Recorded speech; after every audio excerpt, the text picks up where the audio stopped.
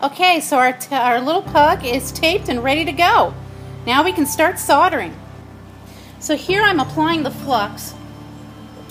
This is going to allow the, the solder to adhere to the tape, which is adhering to the glass. Makes a pretty good bond. Anybody that's worked with copper piping, you'd see them flux the copper pipes before they solder.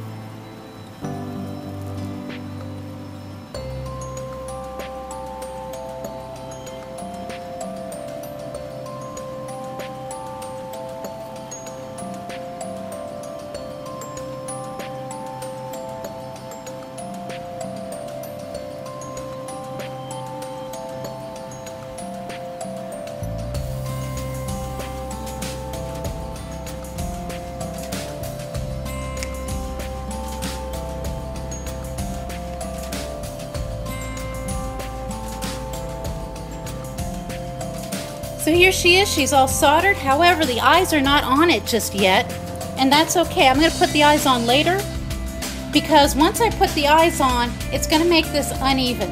I need this to be even so I can get good solder lines that aren't lumpy one direction or the other. Now come the eyes. And what I'm gonna do is I'm gonna put solder around them. This is called tinning.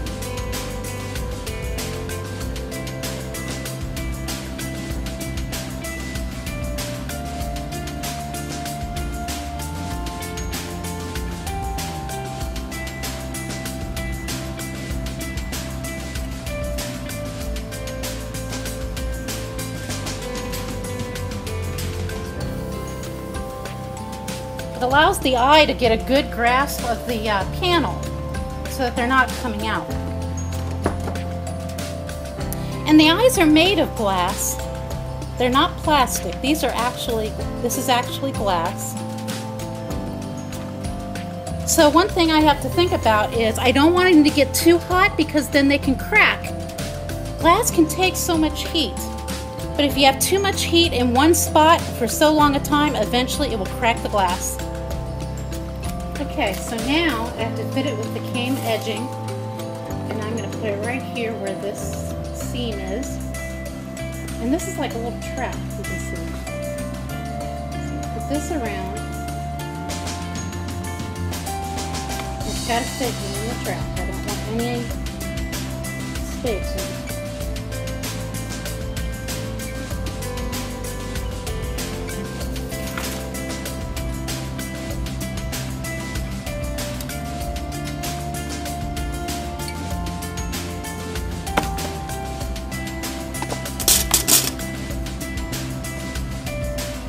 have to melt this down a little bit.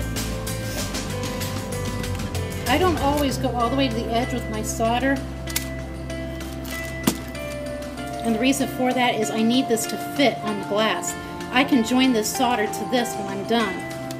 In this case, it's too close to the edge, so all I have to do is melt some solder and that'll fit just fine. So here I've got good joining, good closure. This will this will work. Now he's all together. He's looking good, front and back. He's all chained. So now we got to give him a doggy bath. Then we got to polish him. And I'm going to show my client how to keep those solder lines looking nice and shiny because that's part of the beauty of stained glass. Now we get to color the solder. There are two colors that you can do for solder. You can do black or you can do copper. We're going to do black in this case. All solder eventually will turn black with time.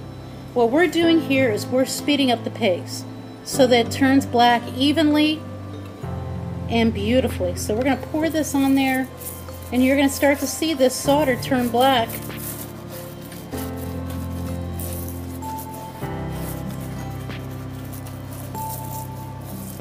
Nice, beautiful black.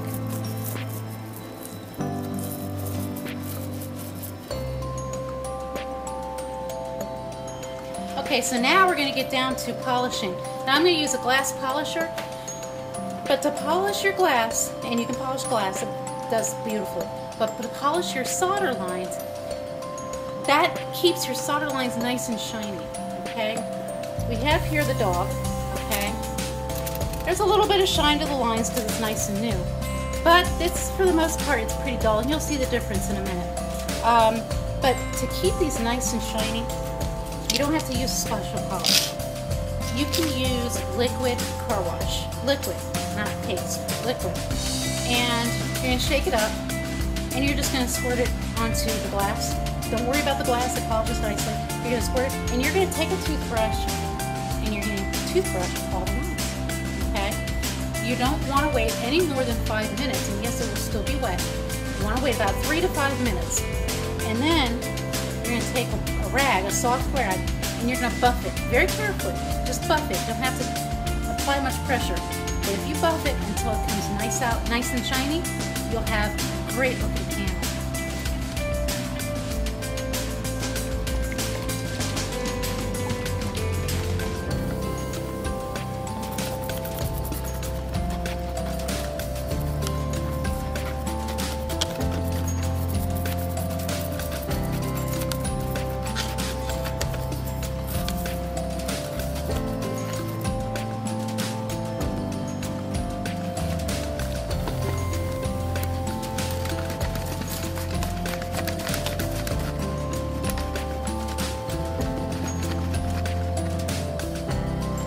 There it is, the beautiful pug.